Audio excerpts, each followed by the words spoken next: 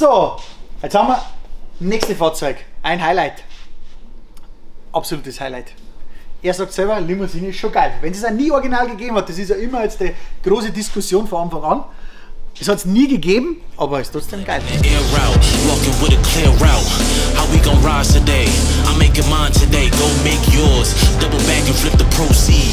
Last year on the corner sipping OE. Had to get off the block. Best friend smoking rock. Best man called the cops. Rose from the city that never sleeps. It's the melting pot. I came through with purpose. I never question if it's worth it. Homie, I'm on top. Really, we on top. I'm on top. See me, I'm on top.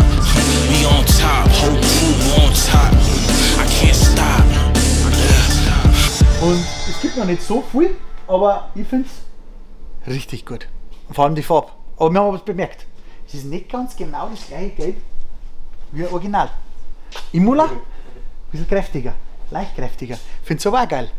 Also in dem Gelb, in dem Kontrast, finde ich es schon geil. Gell? Da habe ich schon gesagt, ist Imola schon wieder fast langweilig, aber Original ist wieder original. Also das kommt mehr auf, ja, das ist sexy. Gell? Sag's mal. Ja. Ja. Nicht? Was hast du? Mein Kro- Krokus. Krokusgelb. Krokusgelb habe ich. Tulpen, Tulpengelb und Krokusgelb. Ich habe die Farben. RS4 B5 Limousine 2,7 Liter Biturbo. Oder haben wir schon 2,8 oder 3 Liter? Nein, sag mal nicht. Nein, 6 Liter. Also jetzt dann sagt, das ist eigentlich kein 2 Liter, das ist ein 2,7 Liter, das ist schon ein 3 Liter Dieselblock mit einem Saugerkopf. Alles noch original. Sauerköpfe sind dran. Sauerköpfe sind nicht drauf. Das Motor ist von wem gemacht? Von demjenigen, der wo das ursprünglich mal gebaut Ja, hat. genau. Also Saugerköpfe sind drauf.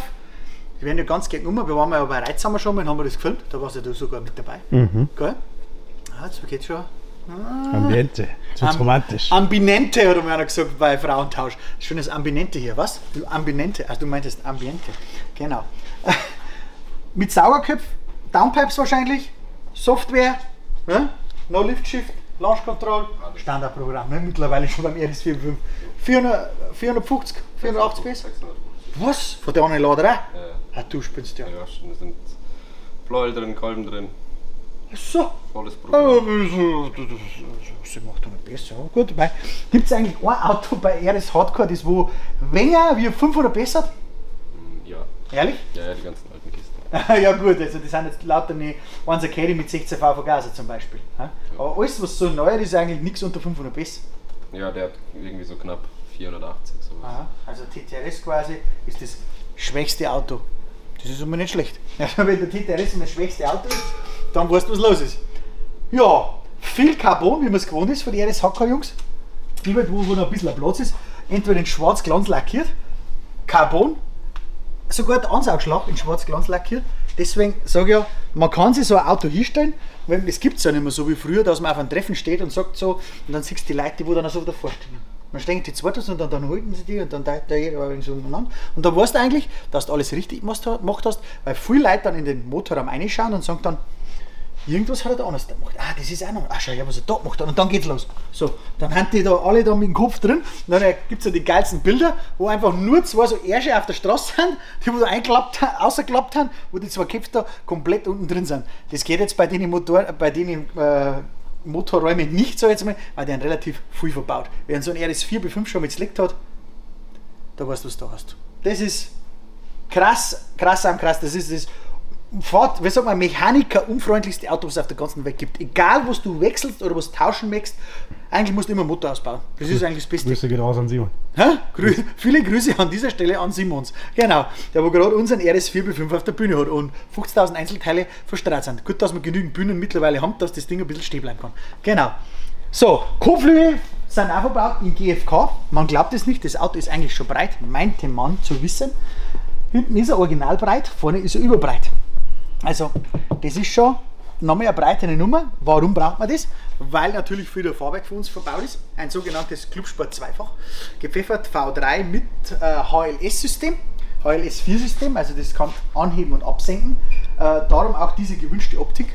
Wir hätten heute eigentlich noch andere Federn mitbringen sollen, weil die Jungs gesagt haben, und hinten ist er noch nicht tief genug. Also, ja gut, das ist natürlich eine Ansichtssache, aber weil natürlich die Kopfhügel vorne in GFK ein bisschen weiter nach unten gezogen sind, äh, ist auch die, die Optik deswegen, finde ich, äh, genau das, was Sie sagen, dass, dass wir hinten noch ein bisschen brauchen.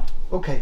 Ich finde es stimmig, ich finde es richtig geil, mir gefällt es, aber trotzdem, wenn man anhebt beim HLS, dann merkt man ganz schnell, hinten hebt er noch relativ ganz weit und vorne nicht so weit. Ähm, das kriegen wir aber geregelt, haben wir jetzt schon gerade gesprochen über die Sache. Wir werden dann äh, definitiv hinten noch mit 20 mm Kürze Hauptfedern verbauen, also beziehungsweise eher schicker. Die können ja drüben eh bei Ihnen auf der Bühne alles machen. Und dann schauen wir uns das nochmal ganz genau. BBS E89, nächstes 88, 89. E90 gibt es nicht. da gibt es ja selbst anderes wieder. Italien 90 kann es geben, das war WM, aber von daher Finger weg. Ja, wir haben da mal Finger schon richtig. So, alles natürlich Carbon. Da sind wir jetzt wieder beim Thema. Ja. Das ist jetzt ein Alcantara, das hat es so in der Form nicht gegeben. Dann, das ist normaler richtig kreisliches Plastik, äh, so rauer Plastik. Das ist auch mit schönem Leder überzogen, aber in Originaloptik natürlich. Ein bisschen Carbon mit einfließen lassen. Ja. Auch wieder innen. Äh, warum sage ich jetzt auch? Weil ich weiß jetzt nicht, welches Video du zuerst kennt. Wir werden es genauso in der Reihenfolge wahrscheinlich bringen, wie wir es jetzt abgefilmt haben, gehe ich davon aus. Weil ich spreche ja jetzt davor, genauso wie wir es gehabt haben, verstehen die meisten Leute nicht, um was das geht, sondern es geht um das vorherige Auto, um den S3 8L. Da wo wir auch schon durchgegangen sind, haben uns das angeschaut. Mit den Carbon-Einstiegsleisten natürlich. Die gibt es auch bei uns. Da habe ich auch noch welche übrig. Und ja, wie gesagt, ähm, das ist halt schon die geile Optik. Da haben wir die gleichen Sitze wieder. Wir reden wieder, wieder von diesen geilen Sitzen, die in unseren RS6 C8 auch verbaut haben. Immer noch die 991, 991 Schalensitze. Da sind jetzt zum Beispiel schon diese Gurtdurchführungen gelb lackiert. Das war jetzt genau der Unterschied, was ich gesagt habe, vom anderen Fahrzeug, vom S3 8L zum RS4 B5, dass diese Gurtdurchführungen, wenn die noch gelb lackiert sind, das ist noch ein richtiger Hingucker. Weil wenn's du noch, wenn wir da noch mit dem Motorhaum zumachen, filmst du mal von vorne rein, finde ich, ist die richtig, richtig geile Optik, dass du siehst, der Kontrast durch die Scheibe. Finde ich geil. Und genau wenn du durch die Scheiben schaust, sind dann solche Sachen dann, wenn man von vorne reinschaut, filmen wir von vorne rein. Geht das? Geht der Spiegel. Ha? Reflektiert Nein. Carbonspiegel und dann, jetzt haben wir wahrscheinlich das ganze Licht drin, oder? Das, Ja, das spiegelt ein das bisschen. das geht, das geht. Und dann die gelben, das sind halt die Akzente, was du halt dann siehst von außen auch. Und das ist halt schon was, wo ich sage, ja, das sind so Gimmicks, die wo richtig viel Geld kosten, aber ohne die Gimmicks sind die Autos nicht perfekt. Und das ist halt bei den Jungs von RS Hardcore ist halt immer so, wo man sagt, das Auto ist perfekt. Also man kann suchen, was man will. Man findet genau das so, wie man es haben möchte, mit, mit dem Alcantara-Himmel, mit allen Carbonteilen, die wo dann irgendwann aus dem Himmel rausgeschraubt worden sind. Genau wie die ganzen äh, kalte Griffe in Carbon und so weiter. Das manche Leute überhaupt nicht interessiert. Wahrscheinlich 90% von den Leuten, die schauen sich das Ding gar nicht an, vor allem auf der Vorderseite. Wer will sein auf der Vorderseite? Nein. Außer also ein Fliegelbruch oder was, keine Ahnung. Aber das ist eigentlich jedes sinnloses Detail, was es überhaupt gibt. Aber das haben sie wahrscheinlich drin, wenn du einen Rechtslenker hast oder einen Linkslenker, dass sie nicht da lang umeinander da müssen. Weil sonst haben wir zwei verschiedene Himmel. Genau. Ja, Natürlich wieder mein Highlight, die gelben Gurte. Da ist der Andi jetzt momentan, ist jetzt mein nice Ding, so Gurte, Gurte, Gurte. Vor Jahren war es ja noch Sitze, Sitze, Sitze. Jetzt sind Sitze und Gurte. Also jetzt habe ich einen neuen Fetisch entdeckt für mich. so soll das sein. Ähm, und dann gehen wir mal auf die Rücksitzbank, dass man das auch sieht von hinten durch. Finde ich auch noch richtig, richtig geil, weil die Sitze ja serienmäßig von hinten ja auch Carbon sind. Und wenn du dann den Kontrast anschaust zwischen Gelb und Carbon und dann das Leder mit dem Alcantara und dann auch die gen- abgenähten Nähte dann dazu, finde ich das einfach nur perfekt. Genau wie äh, hinten wieder die ganzen Seitenwangen auch mit den abgenähten Nähten, mit den Carbon, äh, mit den Carbon drinnen und mit den Faden so. Richtig, richtig, richtig super. Ja. Kofferraum, darf man reinschauen? Da haben wir jetzt keiner reingeschaut, gell? Ich glaube nicht. Schau nämlich davor nicht reingeschaut. Ah, das ist dasselbe. Da ist noch offen da in der Seite. Ja, da sind noch ein paar Sachen noch Carbon machen. Da kommt dann jetzt ein paar Teile noch beim Carbon. Äh, da ist natürlich dieser Griff drin. Natürlich hält das Ganze dann nicht, ist schon klar. Ähm, sind wir aber wieder genau wie bei, an- bei der, beim A3 bzw. S3 8L, dass das gelasert ist im Alcantara, angefertigt, genau, passgenau eingepasst. Dann, dann so hier auch Alcantara, dann können wir da wahrscheinlich noch ein paar Carbonteile rein. Krasser Scheiß. Also ich finde es richtig, richtig, richtig gut. Ja, vom, vom Sound her sind wir natürlich gleich wie die ganzen anderen Autos. Er ist eigentlich relativ dezent, gell? Hat der, was ist da für Auspuffanlage drunter? Mit Sehr- Töpfe? Ja. Mit Töpfe. Ja, ja. Also da ist noch alles drin.